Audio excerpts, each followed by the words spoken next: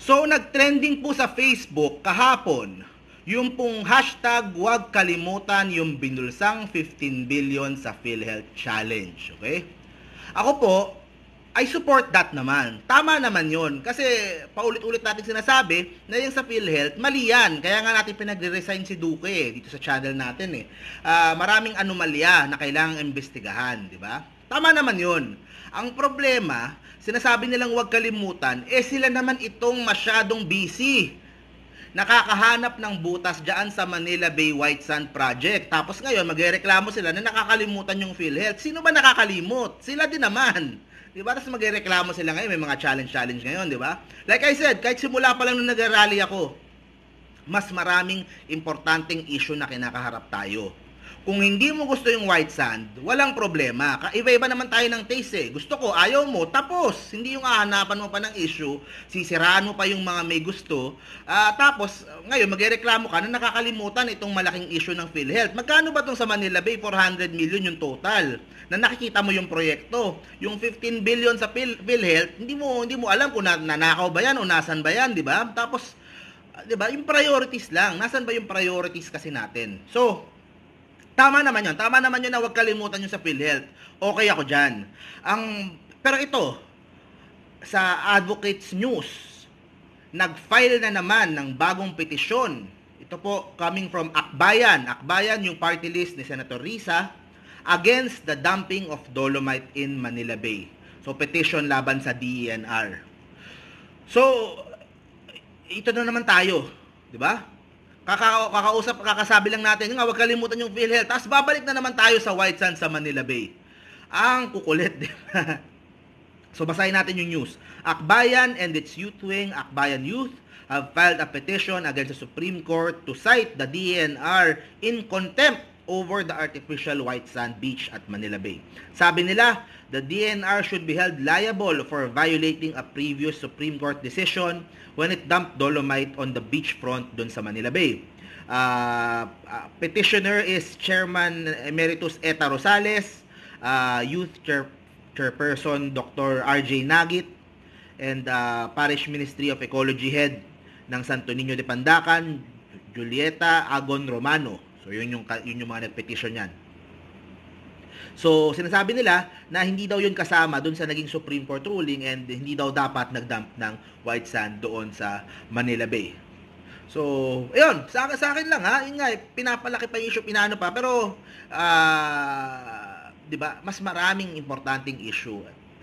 Ito, ito, hindi natin maintindihan kung gusto ba nito, kung para sa publicity lang o sa ano lang talaga maintindihan ko nga talaga kung yung organisasyon eh talagang environmental organization, 'di ba? Maintindihan ko pa eh. Kaso yung problema kasi minsan uh, nagagamit sa politika, nagagamit sa para lang makasira sa kalaban. E naaapektuhan yung maayos na proyekto, naaapektuhan overall yung pong uh, lahat ng ginagawa po dyan sa Manila Bay. Kasi po, nag-aaway-away yung mga Pilipino about the project. Katulad din ng sinabi ko kahapon, kaya nag-prayer rally tayo, may mga ibang Pinoy tuloy dahil sa politika, eh parang pinagdadasal pa na masira yung Manila Bay na alunin na magka-storm surge o ano dahil lang sa away sa politika. Yun po ang ayoko di ba? Dapat dapat uh, tayo wini-wish natin na maging maayos yung bansa. Kahit ano man yung politika mo di ba? Kung mas okay yung kandidato mo pat, patunayan mo na mas okay. Hindi yung kailangan siraan mo lahat nung sa kabilang kabilang uh, kandidato na lalo na sa mga issues na hindi naman dapat na pinapalaki na hindi naman din dapat ganung kalaki So, ayun. So, sa akin po, yun po ang aking masasabi regarding po dito sa petisyon na pinail ng akbayan. Um, karapatan naman nila yon, 'di ba? Ako po hindi ko sinasabing wag sila mag-file, karapatan nila mag-file. Lahat ng Pilipino may karapatan mag-file. Kung may ayaw ka, sampahan mo ng kaso, sampahan mo ng petisyon. Wala pong masama doon. Normal po 'yon. Sa akin lang, sa akin lang baka baka naman dapat may mga mas importanteng issue na dapat tuunan ng pansin at uh, ito pong maliit na issue pinapalaki and uh, nababahira ng politika. Sa akin yun lang po. Ako, uh, meron tayong mga kilala dun sa mga environmental groups uh, na kahit wala po sa balita, alam natin na talagang concerned po sa environment. Uh, meron din mga grupo na talagang pinaglalaban dyan sa Manila Bay, more than two decades.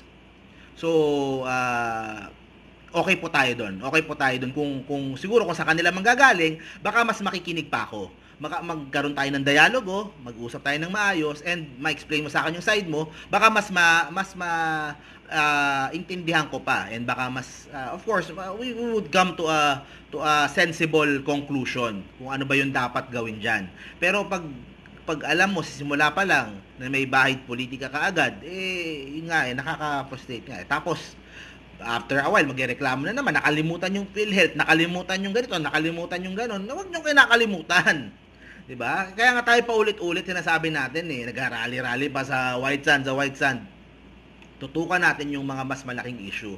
Tutukan natin yung yung funds para sa COVID na bilyon-bilyon na inutang, tutukan natin itong sa PhilHealth, tutukan natin yung pong mga uh, yung ekonomiya ng bansa. Kung paano ba makaka-bounce back yung ekonomiya ng bansa.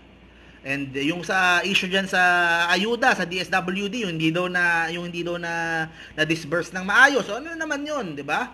So alam niyo po ang ang gobyerno po natin, talagang marami pong, kung hindi mo babantayan, minsan maraming kalokohan. So, so sa akin, ano yan eh, sa akin na uh, uh, dapat labas yan kung sino sinusuportahan mong uh, partido, pangulo. Dapat pag may katawalian, kahit pro, anti ka, laban ka sa katawalian. Ganun dapat yon Yun ang, yun ang paniniwala ko. Hindi mo dapat tinatago. So, ayun, sa akin yun lang. Mas maraming importanteng issue, pero ito pa rin yung gusto ng issue ng akbayan. And, uh, ayun, makita natin, tatakbo naman yan eh. Korte naman ng mag, mag, mag uh, gagawa niyan. So, like I said, karapatan nila yan. But I don't think na yun dapat yung nagiging priority natin ngayon. So yun guys, thank you very much po. Tuloy-tuloy lang po yung coverage po natin dito po sa White Sand. See you po sa next video po natin. Stay safe po parati. Today is Friday, so mamaya capital report. So abangan nyo po yun. Uh, see you po sa next video. Pilipinas, God first. Bye-bye guys.